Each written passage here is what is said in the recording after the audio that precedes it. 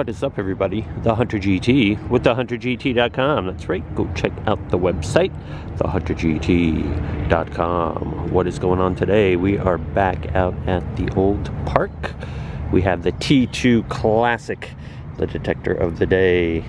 I've been pulling it out more more often recently I've noticed um, it's super deep super fast. It just this is a super hot one too. I mean this thing air tests is past a foot easy. And uh, yeah it's a sparky one and I like it that way. And then days I want my smooth operation. I grab my F75 plus turn on DST and I'm good to go. So and still get 10 inches on a on a coin size object. So yeah, this one's super deep though and super fast and just, it's great with a high disc. It doesn't lose much depth at all if I crank the disc up. Um, and sometimes I, I, like to cherry pick. You guys know me, I'm a cherry picker at heart. So I do not like low disc. I do not hunt for gold rings. I leave that for you guys. I leave the glory for you guys. So uh, we're at the park today. And uh, without further ado, let's go find us some stuff. All right, there's some people enjoying the early morning park hours, so I'm not going to squeal it top volume here. So you can just see 84 there.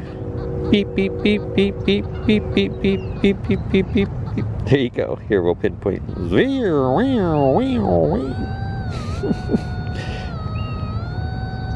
Three inches, so we'll see what it is. Should be a dime or a penny. Let's find out clad dime right there. Just like we said it would be. On to the next. Alright, two targets here next to each other.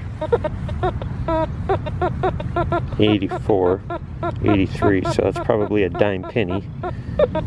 And over here we got a zinc, 76, 77. So a zinc and a dime penny, most likely. A penny and a penny or a penny and a dime. We'll see, we'll see. All right, so there it was. It was a dime on the right-hand side. I said it was to be a dime penny. I was right there. On the left, I said it's probably to be a zinc. I wasn't correct there. It's an Old English 800. Fine malt liquor right there. Boy, that's high quality stuff. If you ever tasted it, mm -mm, delicious. Uh, do not try it, ever. Uh, clad dime there on the right. So happy for that. Old English going in the trash. On to the next.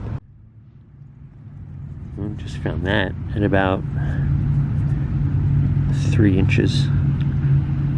Love, it says. Wish it was solid gold or something. It's zinc. It rang up in the zinc range. Thought it was a zinc penny actually at like eh, three, four inches, I want to say it rang up. So I was like, eh, at this park, that's deep enough to be an Indian head penny. So you got to dig them. Oh, man. You've seen me with pockets full of, I mean, zinc spills here at this park, five, six, and you've seen me dig nine inch zincs as well. So you got to dig them all here at this park, shallow and deep stuff. But anyways, back to this find. A love token. Wish it was solid gold. That'd be dope.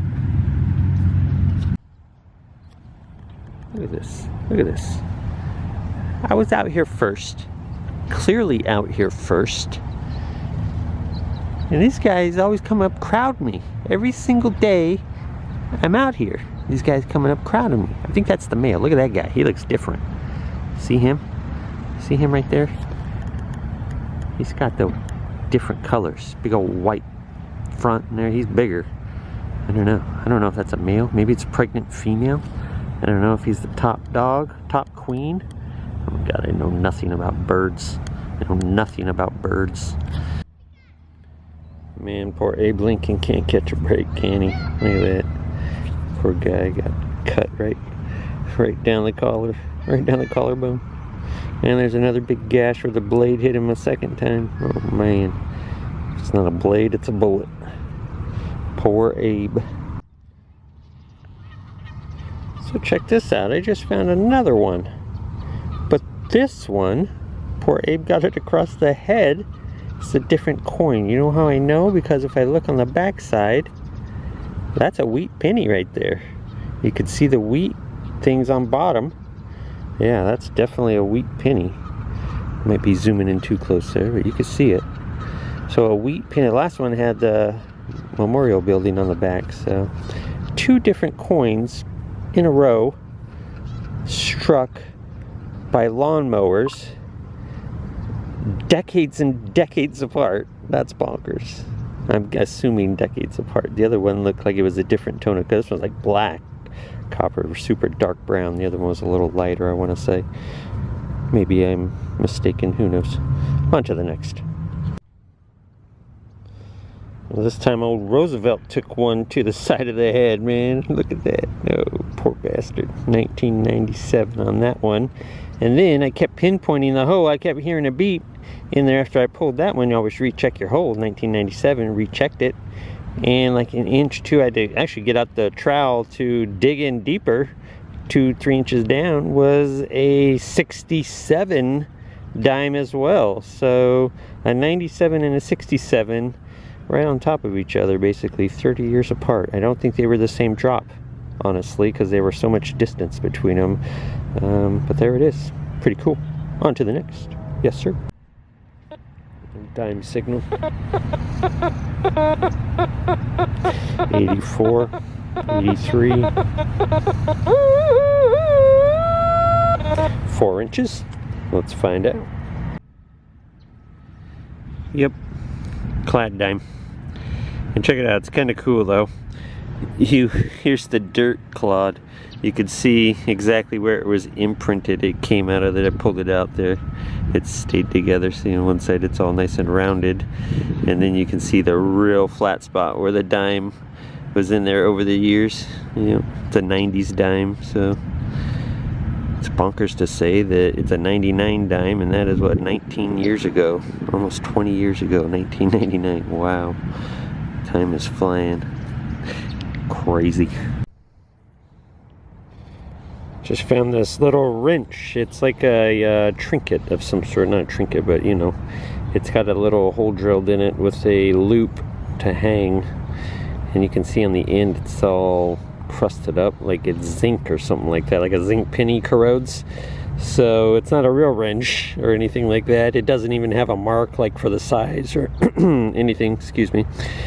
Doesn't have a mark for size or anything like that. So yeah, it's some sort of uh, necklace pendant or something keychain fob maybe something like that. I don't know. Something crazy. All right got a signal here. 90 91 92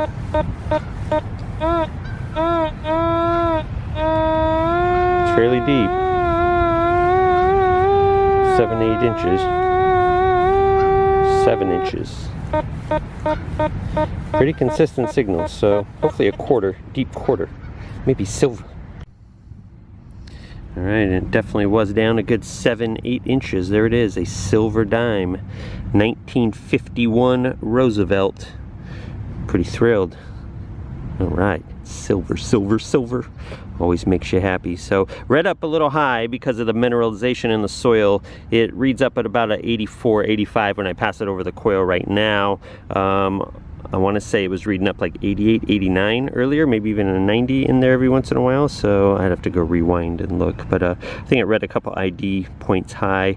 It was pretty deep, seven, eight inches. And in this soil, you know, that's pretty good. So pretty good. T2 finding dimes at seven, eight inches, no problem. You guys heard that signal was pretty strong. The ID was nice and strong too. So, I mean, yeah, it up averaged it to a quarter, but who cares? It was a nice, solid ID that wasn't wavering much between two and three IDs. So, pretty thrilled. Yep.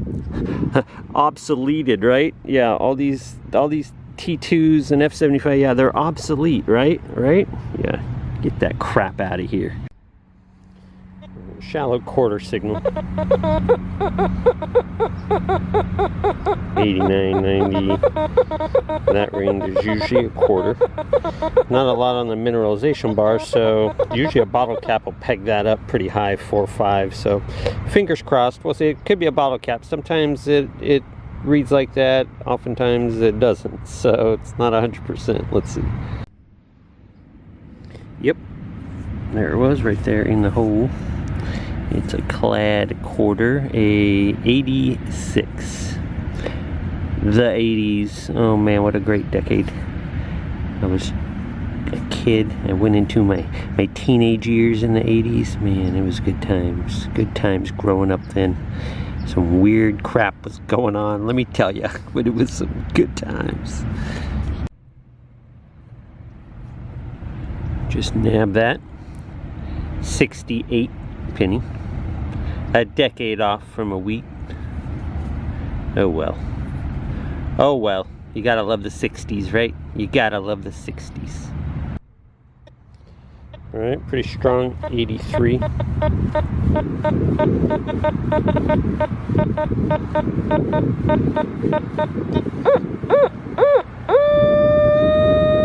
Five inches down. Pretty repeatable as I circled it too. We'll see what it is.